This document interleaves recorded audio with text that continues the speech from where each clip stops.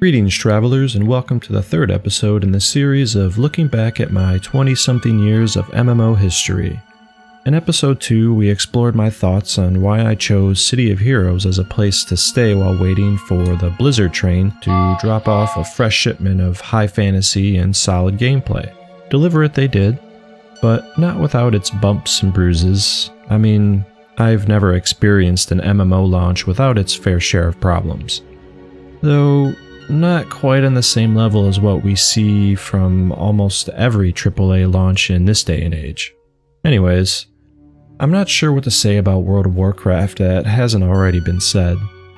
So I will just try to relay my experiences and memories as best I can, and maybe something will come out of it that you haven't heard before, or perhaps it will just be a pleasant trip down memory lane, which seems to be what most of this series is turning into anyways, and I'm okay with that. Prior to its MMO release, the Warcraft series was a top-down strategy game with established characters, storylines, and fanbase. Unfortunately, I was not one of them. My interest came from time spent in Diablo 1 and 2 and StarCraft, which established my initial trust in Blizzard as a maker of quality games. So when I heard about World of Warcraft, which was after I had already played Star Wars Galaxies and had the MMORPG bug, I was very excited because the fantasy genre has always piqued my interest and curiosity. It's like a creative outlet that doesn't stray too far from reality, but strays just far enough to forget about it, if only for a spell. Well, with the Fellowship of the Ring fresh in my mind, I would often visit the World of Warcraft website to see if I was chosen for the closed beta, and to daydream of epic adventures as a muscle bound, meatball dwarf with a massive beard, or a shape shifting elf that could intimidate their foes with bestial roars. My imagination loves the world building and romanticized possibilities when I'm excited for a game to be released. So, for the first time ever, I pre ordered a collector's edition which I would later get rid of during a move just shortly before World of Warcraft Classic was announced a few years ago, and I regret it to this day. I still have the art book, in game pets, and I believe the original soundtrack CDs are somewhere in a box, but alas, I believe I threw out the original Collector's Edition box, the cloth map of Azeroth, and installation discs. C'est la vie, I guess.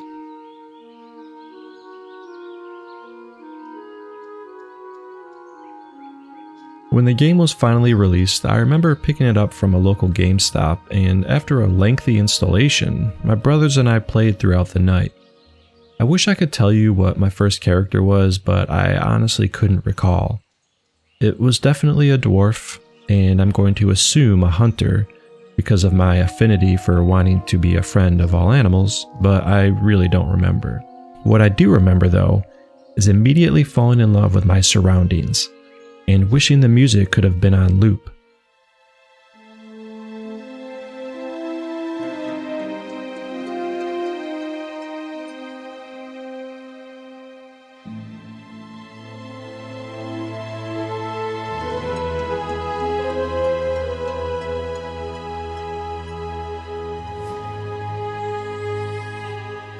Which wasn't an option at the time. Dun Morogh is the dwarven starting area, and considering WoW was released in November, it was the perfect zone to fit the pre holiday and winter vibes. And I want to come back to this thought on vibes, but let's move forward a little bit for now. So, after a brief amount of time had passed days, maybe a week or two one of my brothers wanted to switch sides and play as a Horde character. So I followed, we eventually settled on the Skywall server, and with many failed attempts at other classes, including the time when my brother and I tried duo orc Victory warriors that we referred to as the Barbarian Brothers, for anyone who remembers that film. The Barbarian. Well, I ended up where I started, but swapped the dwarf Be good. for an orc hunter. Zug zug. We found a guild of jovial, like-minded people, which would later merge with another smaller guild wanting to accomplish higher-end content, and we appropriately named this new guild Osmosis. And, with our newly formed team, we were able to vanquish mighty foes that were once perceived as impossible. Enormous fire engulfed monsters bent on world domination, conniving dragons living in secrecy, and old gods seeking to renew their control over our people. We had some fantastic adventures, and I wish I had the wherewithal to record videos and keep screenshots from those times, but I tend to lean towards stored memories in my head over cluttered hard drives. But I'm beginning to see the value in both.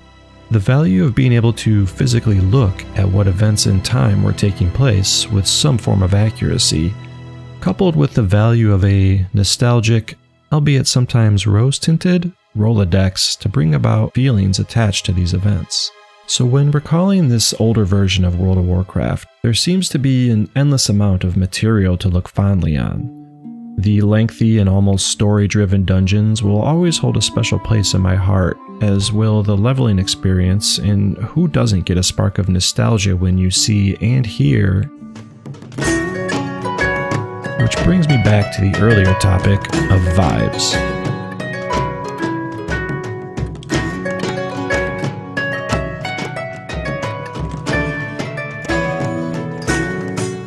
This is what I think about most when I look back on those days, locked away in a bedroom late into the night, accomplishing multi leveled or simple quests with a backdrop of distant mountains, claustrophobic forest canopies, forgotten monuments, and a soundtrack that all aided in telling a story specific to each area you proceeded to explore and uncover, happening upon locked treasure or secret items that offered a new quest to discover. What can I do for you?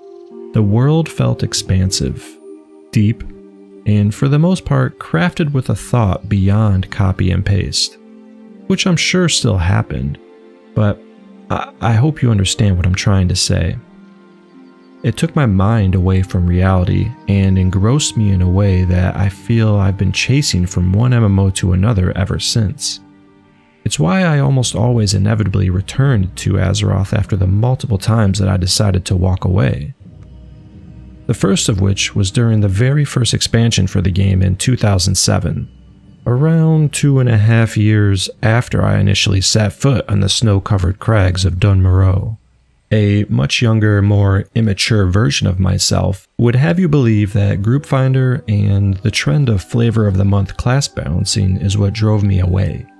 But I think it was more so that I felt like World of Warcraft was becoming too popular for me and when something becomes a little too cool, I used to take the against the grain approach of bashing it for no reason other than my own insecurities, creating a narrative that fit what I wanted so I could be more comfortable with what I was feeling. Which I don't recommend, by the way. But ultimately, I think I was just getting bored and I gave myself a reason to move on. And move on I did.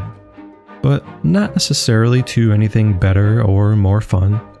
In fact, I would argue that this lost traveler, although experiencing something new, was having a worse time than if he had just stuck it out in Azeroth.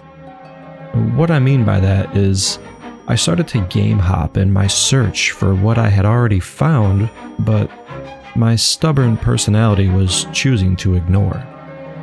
Now, that's not to say that I didn't create some fond memories with the preceding MMOs, because I did. But they were never long lasting, I'm afraid, which will lead us to a mashup or amalgamation of several games that the Lost Traveler will dive into for the next episode. See you then.